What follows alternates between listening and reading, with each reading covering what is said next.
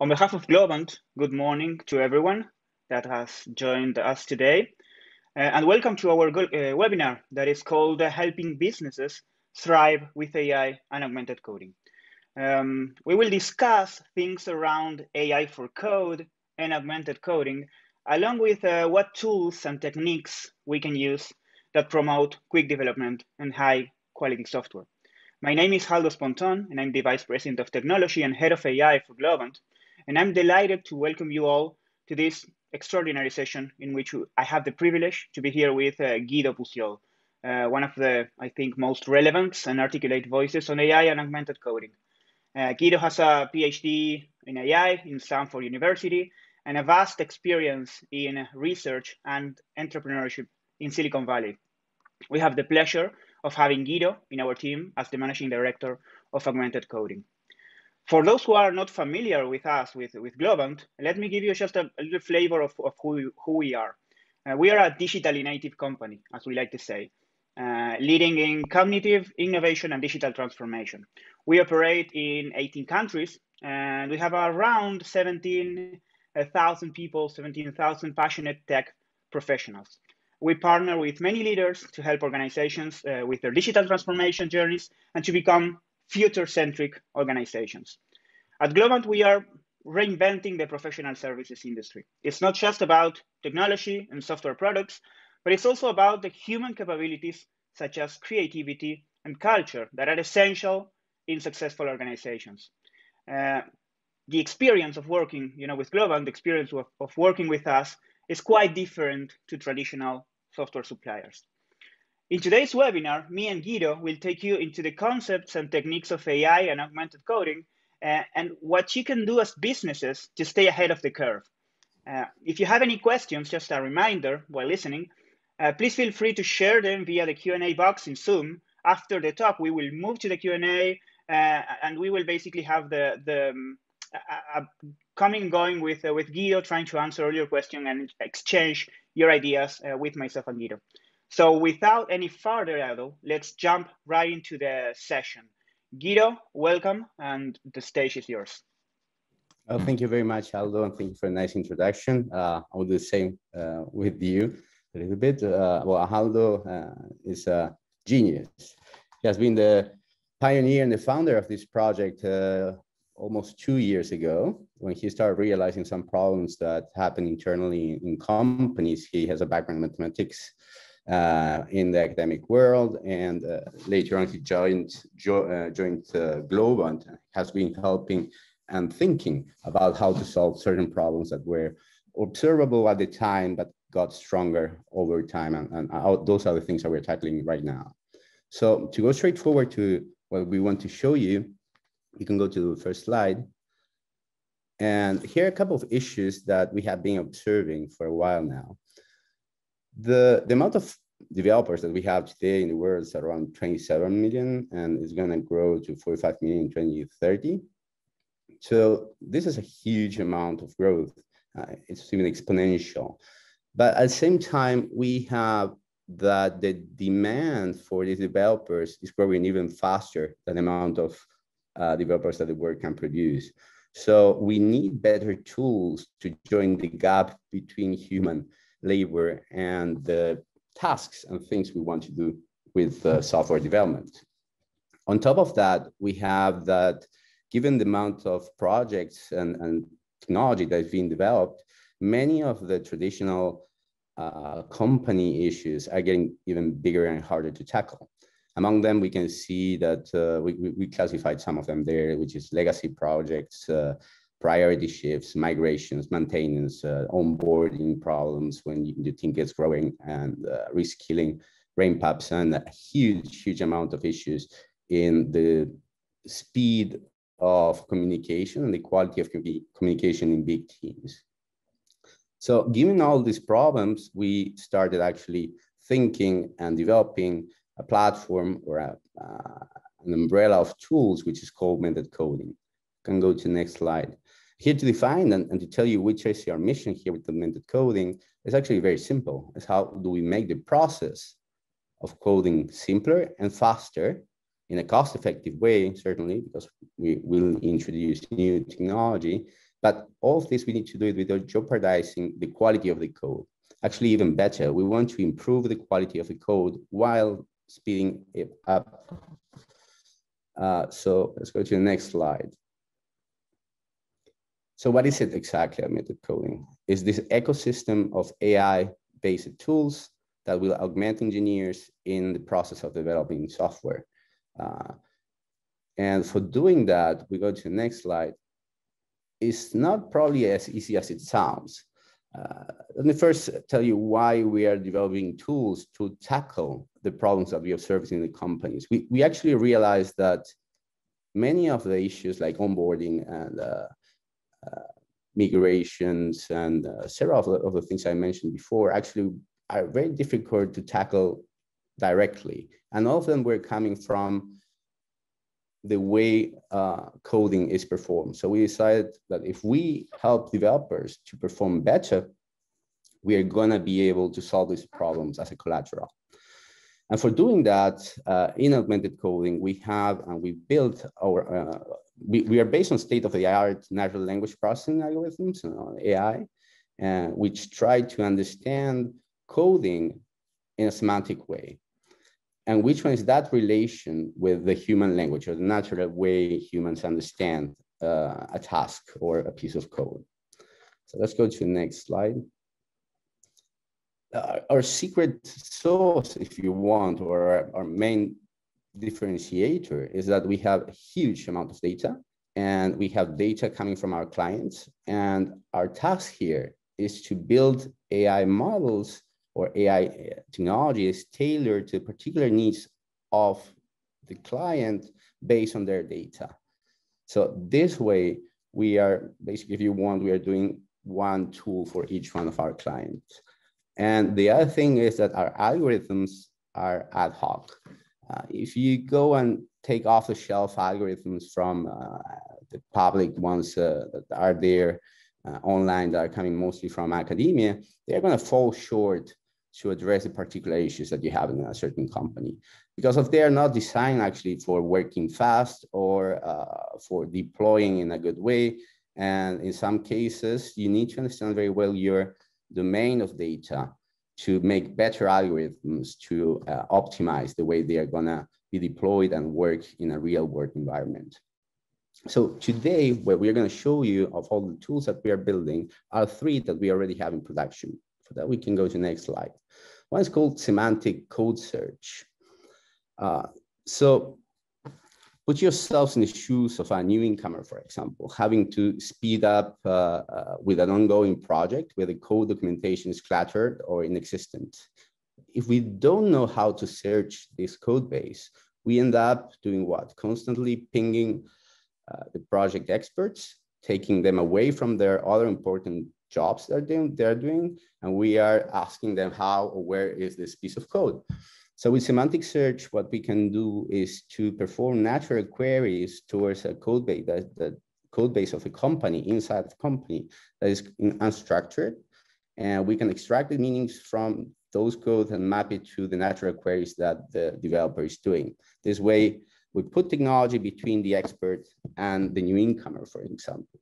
Similarly, it happens for experts that wants to understand or to learn about pieces of code that are being built by other teams. Uh, we're going to talk about each one of these things in detail later. But uh, let me go to the second one. It's, it's called Semantic Deep Learning Autocomplete. And here is a tool that works directly in the IDE at every time the developer is pressing a keystroke. We try to guess what's going to be the next line of code. And we propose them what should be that line of code. In this way, we are coaching them and we are making them type faster. Uh, this normally you would see in IDEs uh, where they use an R type of technology, but with the AI and the amount of data we have, we realize that we can go much better and much longer in the amount of completions we can do. Haldo is going to explain that later. And a third and very recent tool that we have deployed and put, put into production is the automatic code documentation. This tool, what, it, what it's doing is documenting and commenting functions for you, basically, while you are developing. Developers hate this part. Nobody likes documenting when they're finished their day. So with this tool, we're trying to help them do that. And working offline, we can go through databases of code that has never been documented and documenting them. This way, by documenting new code or existing code, uh, we help in many of the big problems with companies. One of them has to do with finding the right code, but another one that's even more important is when you have legacy projects that needs to be moved forward. Uh, so with all those things said, those are the th three demos that we're going to show you today, how they work. We're going to be going little details of uh, how they are built. Um, we can go to next slide and there, yeah, okay, I will do the, the quick introduction of what semantic search is and the problem here. So formally, uh, well, as I mentioned before, semantic search has to do with retrieving information in unstructured databases that are not commented with natural language. And uh, here are a couple of things that I want to highlight. One of them is uh, like if you have to guess how much time a software engineer uh, or a software expert uh, spends coding, it's quite low actually. It's between 5 to 28%. So what we want to do is not to make them code more, but to make them code more efficiently. And for that, they need sometimes to find pieces of code that uh, are already existing uh, or being created by other people. And the other thing here is when the team gets bigger, and this is called the Brooks Law, uh, the communication between teams gets harder and harder in an exponential way. So with our tool, what we can do is do that, like reduce the amount of communication needed by searching and finding pieces of code, but in a completely different way to what you are probably used to, uh, to know. So with that said, I will let now Haldo to go through all the demos and all the details, because actually what is interesting to see is when you see things working live and how they work in the real life. So thank you, and we'll come back later. Haldo, please take the take the stage. Yep. Thank you, thank you, Guido. And uh, the first demo we're gonna see, and we have a video, but I prefer to do this demo live, is the demo of semantic search. Uh, as Guido was mentioning in this first part, in the semantic search, the objective of the algorithms is to understand code and understand natural language. But let me just highlight that term. You know, the word understand in this context is a little bit different that the way we understand the concept of understanding. And I know, I, I know this sounds like a, a, little game of words, and it is, but uh, the idea of these algorithms is to actually being able to capture the meaning, the semantics of a piece of information and represent that information in a way that computationally I can compare that information with the semantics of another piece of information. Um, in text, uh, is you, you may refer to algorithms such as uh, the vectorization of words, in which you basically can measure the distance in a vector space, and that distance will be equivalent to the difference in meaning between words. We do the same for code. We basically train a system uh, to understand the concept of a piece of code given the context on where that piece of code is living and interacting and connected with. And that's the idea. So let me just jump right to the demo. Uh, when the when the users when they start using augmented coding, the first they see when they are using the web interface for our system is just a search bar. It's nothing more, nothing less than that. But the thing is that they can do pretty much everything with this search bar. The idea is as Guido mentioned, we want to shorten the gap between human language and programming language. So uh, the idea is for users to actually, they don't have to use any keywords or they don't have to know business specifics behind the code or something like that. They ha just have to express the functionality they are looking for in the best way possible, in the, in the, the same way they are thinking of that functionality. For example, and it will start pretty low. This will not surprise anyone, but I want to, this example to be, you know, incremental. So I will start very simple with, with something like sort elements in a list. And for this demo, I have some Java code in the back. So of course, if I do a, a, a, search a query like sort elements in a list, of course, I will get a lot of sort algorithms in my code base. This is, again, this will not surprise anyone, but just for you to have a little grasp of the interface and the things that are happening here. Uh, we support many languages. Today we will see um, things in Java, but we support many languages.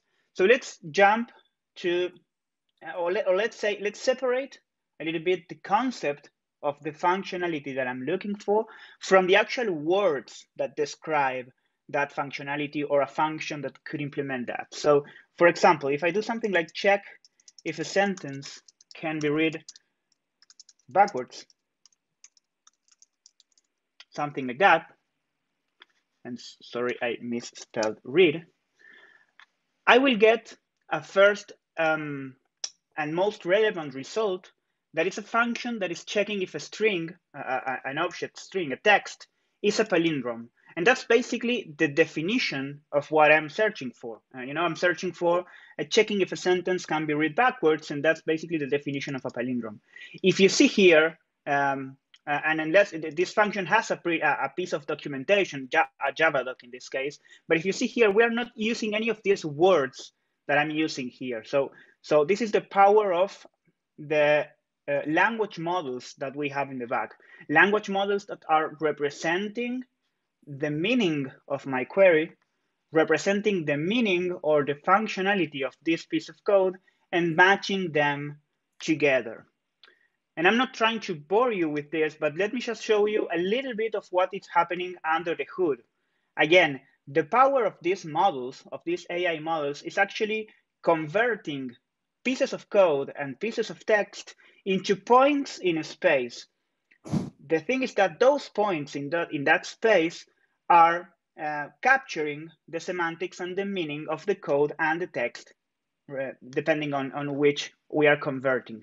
So if I, I, we have here basically all my code in my project, in my organization, and this code is represented in a, in a cloud of points, you know, given the captured functionality using these algorithms. And if I zoom in here where I have my query, basically I have this uh, little red point that it's the query ID, check if a sentence can be read backwards, or, or the what the computer, what the algorithms understood from my query, that is that vector. And we have here a piece of code or the vector uh, that the computer understood for that piece of code that is the result for my query. And in this space, what I can do is actually measure distance. I can measure distance as it does distance where, uh, um, where the semantic distance between two concepts. So I can compare pieces of information that are different, text and code in this case, in a semantic way, and I can give you the result of that query. I will do just another search just for you to have the, the grasp of this. Uh, and again, as Guido mentioned, this is a pretty useful tool where when you know when you have large teams when you have a lot of uh, people that is uh, newcomers for example starting the projects or you have a lot of information a lot a big code bases that the developers have to interact with and you can basically interact with that code base using concepts and not just strict words so another search for example check if a sentence is long i love this example because it actually shows the power of the, of the language model. Again, I'm doing something, I'm expressing something that I want, a functionality that I want. And the most relevant function that I found here is a word count. Basically, an, a little algorithm, a little piece of code that is counting the words in a string. Of course, it's checking how long that sentence is. It's, it's, we, are, we are bringing that functionality into code.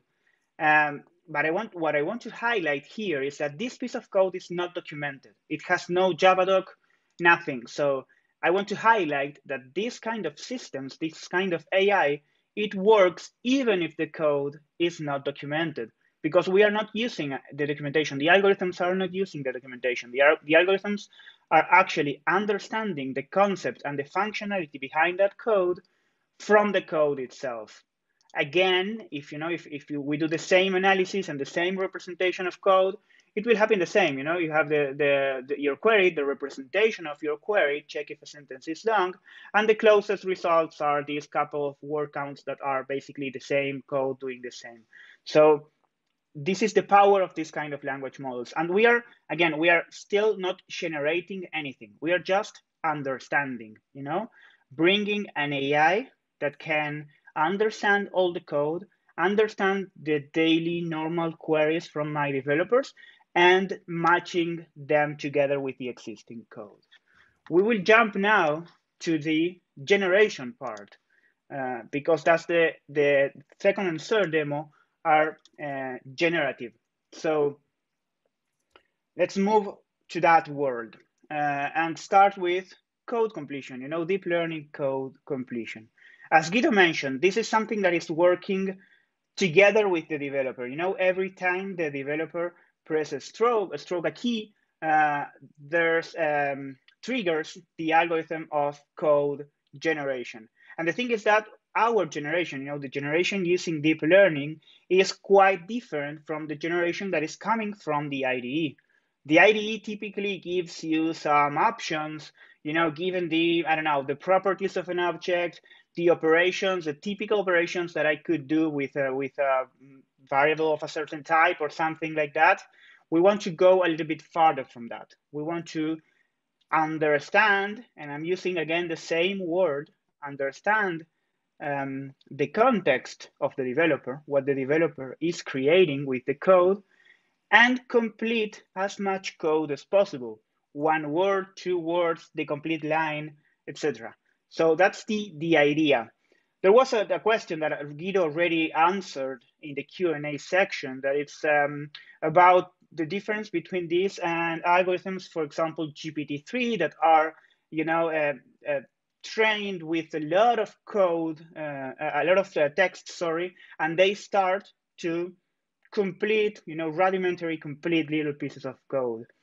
Yeah, it's it's a valid comparison, uh, but the thing is that uh, when you do code understanding and code generation algorithms, you will have to uh, be pretty much focused on the, not just the, the algorithm, but the data uh, and uh, um, training an algorithm with uh, unlabeled, uh, unorganized data, it, it will never have the same results as training an algorithm with um, uh, correct data, cleansed data, uh, so we can actually generate things that make sense in the context of each and every developer.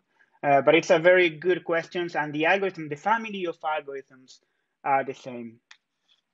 So um, just uh, a couple of metrics that we measure when we plan these algorithms with our developers. Um, we found, uh, let's say, a very low level metric that we found is like developers, they press 46% less keystrokes.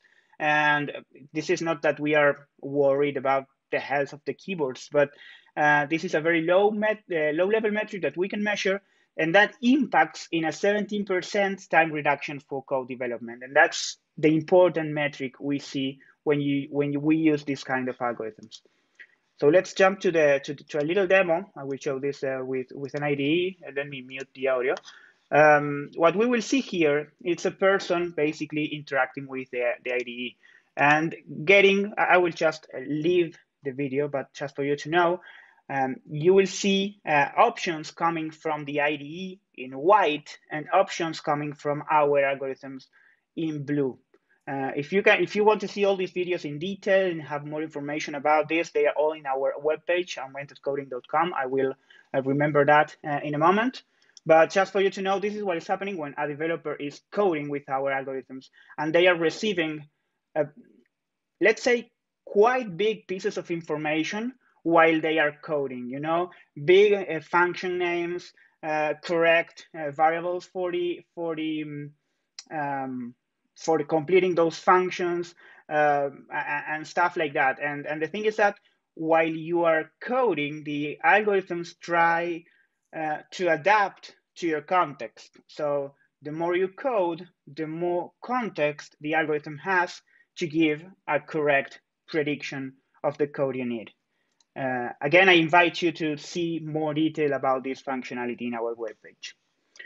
And let me go to the last but not least functionality. And this is the most experimental thing we have, and it's the generation of documentation.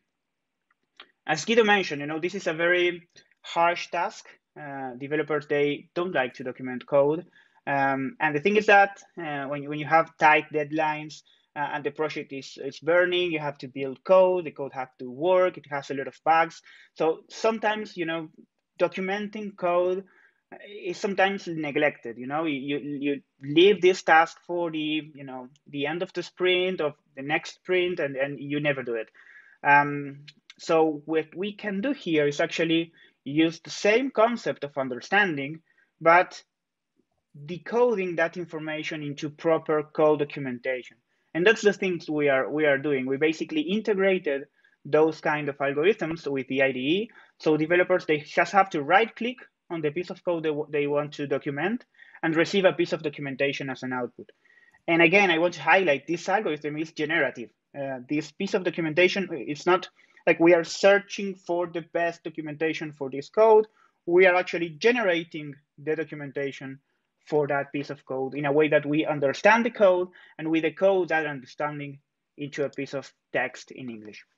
Let's say let's see the same uh, the same demo for that. In this case, there's a there's a piece of code there. The, the user will right click, um, infer the documentation, and we'll get phrases like this. Gets the instance of the iAnalytics DAO, for example, like this, or, or you will see some others happening in other in other pieces of code.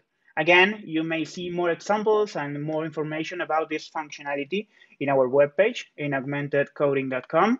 Um, and again, something that I forgot to say, but there's both uh, the code generation algorithms and the code documentation algorithms are available for not just for Java, but for C Sharp, uh, for JavaScript, TypeScript, Python, and other languages. Uh, and this is the way we are working with this. We are trying to learn from different programming languages and be able to build this kind of algorithms. So first of all, uh, I want to uh, let me tackle a couple of final thoughts, but I, I, I think Guido is a more informed word to say this. But from at least from the technical perspective, this is a quite challenging uh, problem. And I saw another question coming the talking about no code platforms, low code platforms. You know, uh, from the code generation perspective, you know, generating a piece of code, a working piece of code, um, just from the description of what I need that code to do is a pretty hard problem, an open problem in the academic world. There has been a lot of uh, advances and, and studies in the last years, but it's an open problem and it's not something easy. You know, there's a huge distance between the way we as humans express ideas with a lot of holes in, in our semantics and in the way we express the, the things we need, and the way we need to express those ideas in a way that computers can execute those tasks. And that, that's the challenge, you know, moving from a very high level semantic uh, incomplete language to a very, let's say, low level, syntactical, uh, and, and very complete and strict language. And, and that's the things we are trying to solve, you know, shorten that gap between, uh, between those two languages. I know, Guido, if you want to say some words uh, as, as final thoughts. Yes, and then we can go to the to the Q and A. Yes, of course. Like uh, just to wrap up, um, okay, we, we show you three demos of the things that we have already in production. We have many others that are there in the pipeline that have to do with um, uh, code op optimization and uh, reviewing pieces of, of code. We have a long list of things that are being uh, passing from research and proof of concepts into uh, production like uh, pipeline. What is interesting here to observe is that when when you start having these tools and they interoperate between each other, you have a much powerful overall platform to solving and tackling the problems I mentioned before. Just to mention something like if we solve, for instance, uh, when we, we address the problem of uh, documentation, we are tackling uh, the problem of legacy, code generation, migrations, uh, quality control overall, and the, that is helping as well uh, the part of the semantic search because uh, when you have better documented code, semantic search, even when it doesn't need that documentation, uh, you can add that part to it. And that's what we are doing. And you, you start improving the overall ecosystem of uh, the entire code base and the way you work inside of a corporation. Uh, so like, but in a high level, augmented coding, uh, just to, to uh, summarize the thing, uh, augmented coding is, is something entirely different for our customers. Uh, it goes at the core of their transformation, uh, which is the developers themselves. From the inside out, we are trying to rethink, and we are doing that actually, the way they work, and we propose solutions to their problems. We, we are very sure that this propagates into all the big problems of our companies. Um, and this is the point. I mean, by attacking the root, we will impact uh, several of the big problems. Uh, and, these problems are many of the problems are keeping them from evolving at, at a much past, uh, faster pace, basically. So that's why we're, we're very excited about the work we are doing, uh, which is actually uh, moving. I mean, we're doing research and we're moving actually to the real world in real products. With that, I, I think uh, we can answer some questions. Yeah, thank you, thank you very much, Guido. Uh, it was this was a, a fascinating session. We, we love to talk about this, to talk about AI, to talk about uh, the things that are happening around AI for code that are many today. Uh, and thank you again, Guido, for, for sharing your, your insights. It's, uh, it's now time for, for Q&A. We have received some uh, questions during the presentation that um, you know Guido just answered using test text. Sorry, just a reminder to everyone: uh, if you have any questions to myself or Guido, it's it's the time now to to send them through the Q and A box on Zoom uh, we have we, we love to to you know start the conversation and having questions. Um, we have a first question uh, question from uh, Paul, and I will uh, give you Guido the word for this one. Uh, and the question is, uh, what is the licensing model for this capability?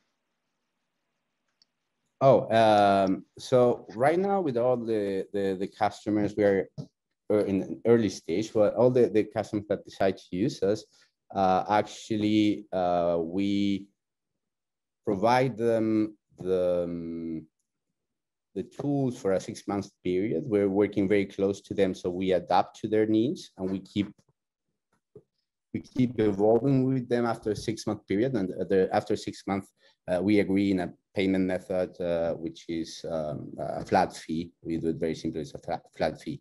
So that's uh, how it works. And in terms of licensing, I mean, the things that we build with your code and the outcomes of those things are, are, are basically yours, it's, it's, your code. The things that we pro provide generically, I mean, that from our databases and our code, uh, they belong to us. So that's why you have a, a flat fee. Thank you, Guido. There, there's another question uh, that I think we, we both can tackle. And the question is, uh, Tom is saying, uh, I like the concept, I think it, it is definitely the way forward. Uh, but how this compete right now, for example, with Stack Overflow, which also gives the developers con context around the answers rather than just the code itself. It is something you want to bring in. Let me just quickly jump to that question and I will let Guido um, give his insights. But uh, just a little thing about you know stack overflow also github and some other bases that you will see around public bases but basically uh, that are the heart of the you know the, when, when a developer have a doubt uh, they typically go to stack overflow uh, and the thing is that when you are in a strict um, uh, enterprise environment, uh, sometimes uh, you don't have access to those kind of tools, such as Stack Overflow or others.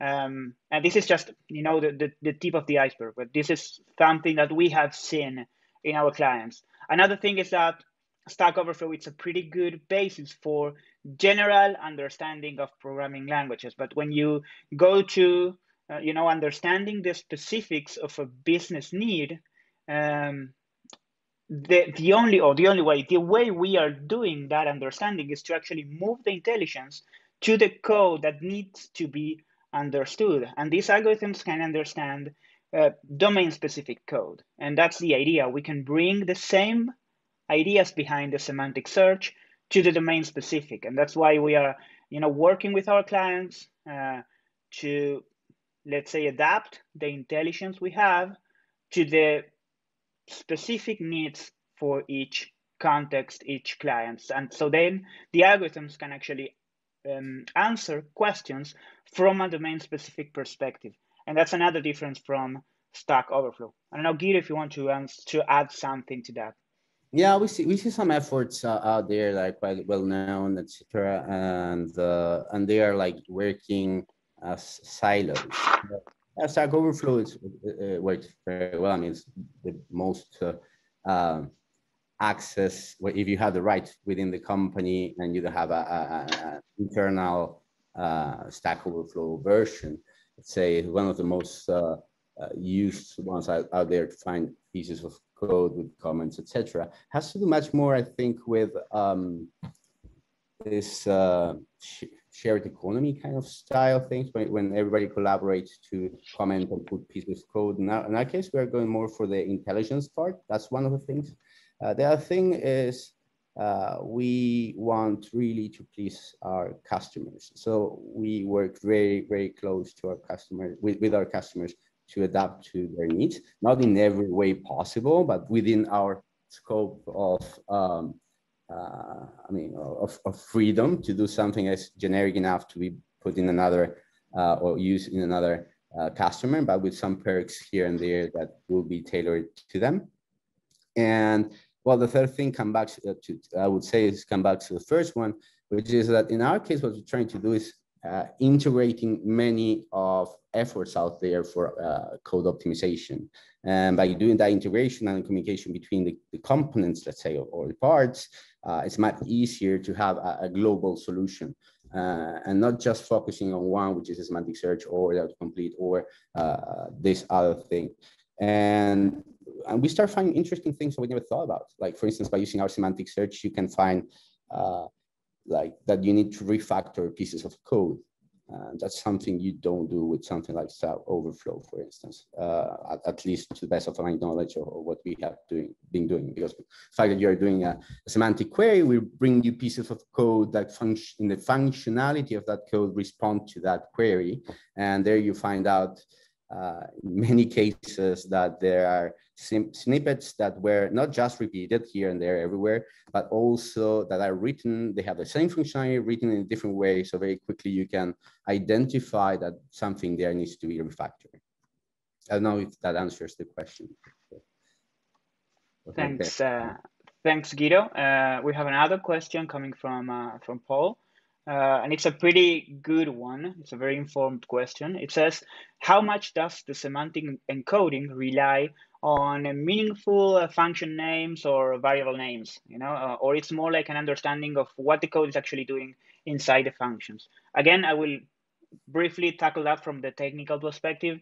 Um, it's a very good question because this is something that actually happens, you know, when you train an algorithm uh, with pieces of code, um, you have to be very careful on the things that the algorithm is actually paying attention to.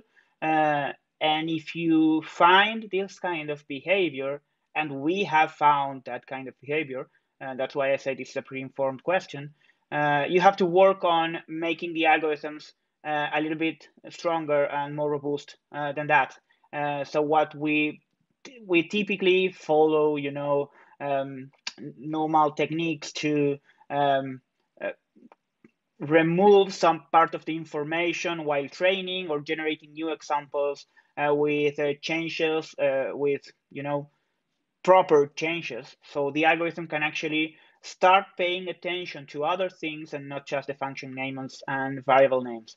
In fact, we don't work only, only with uh, the words, the tokens from the code. We work with other structures coming from the code.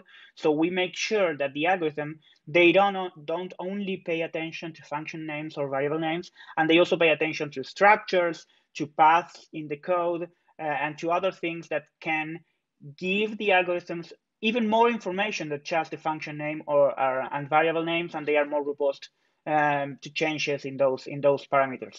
Guido, I don't know if you want to add something to that. Yeah, well, I, I think it's very, very interesting, this question. It come back, comes back to uh, one of the first ones about using GPT-3 or generic off-shelf uh, models. Uh, in general, what you do is like, when you have a generic thing, it's not tailored to a particular problem. And the effort and the amount of brains you have to put in, in understanding the domain uh, of the problem is quite, uh, it's quite uh, consuming. I mean, more knowledge you have about the problem, more you can add into your own ad hoc algorithms to tackle uh, the problem in a more effective and um, uh, in a better way, actually, because you have smaller models that are actually solving the problem in a better way. So you, you keep optimizing models in that case.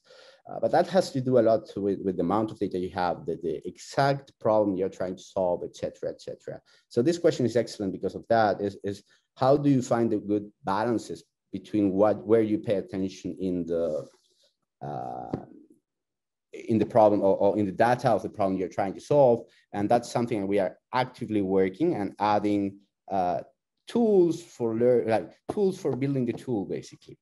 Uh, we have attention models, we have uh, automatic ways of paying attention. In some, case, in some cases, when we know uh, that it's something that will be repeated everywhere, we need to add those that knowledge by hand because we understand the domain. Uh, thank you again, Guido, and thank you for, for, for all the people that, that had joined.